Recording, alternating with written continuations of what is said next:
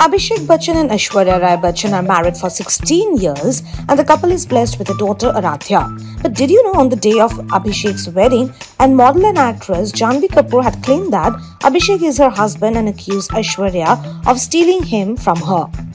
Jhanvi and Abhishek had met on the sets of Dus. Jhanvi also filed a police complaint against Abhishek at the Juhu police station, but due to lack of evidence, no case was registered. She even attempted suicide by slitting her wrist in front of Amitabh Bachchan's bungalow, and after this episode, she disappeared and was never seen outside Abhishek's house. For more news and updates, stay tuned to E Times.